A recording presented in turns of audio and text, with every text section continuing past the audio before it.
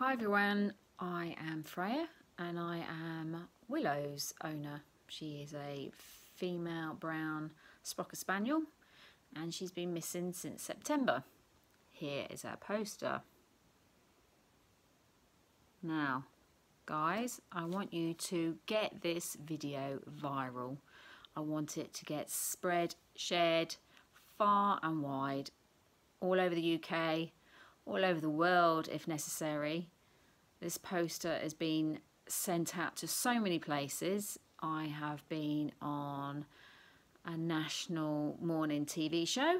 I've been on the local news station, um, national newspapers, local papers, local radio, and yet it's been 10 months and nothing. No sightings, no leads, but Willow is out there somewhere. It's fantastic news when you hear of Buster, Fern, Dinky and Doris reunited.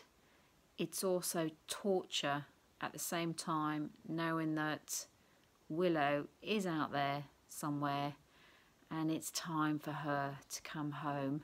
So please, please share this video. There you go. There's the poster. There are her uh, details.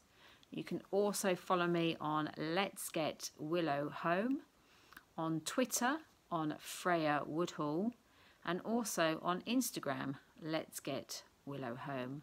Let's please spread the word, not just Willow, but also pet theft in general. It is rife out there. Please, please be cautious. Please don't leave your dogs unattended anywhere. Willow was left in our back garden in the middle of the Shropshire countryside in a tiny hamlet, and yet she was taken.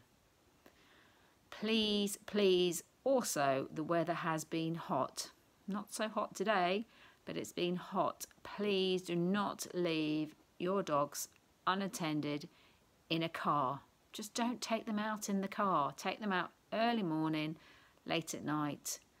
They these dogs don't have voices. We have to be their voices and I'm definitely trying to get my point across. I want Willow home.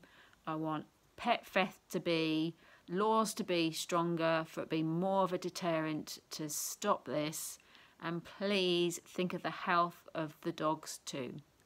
Thank you for this message. Please share. Thank you.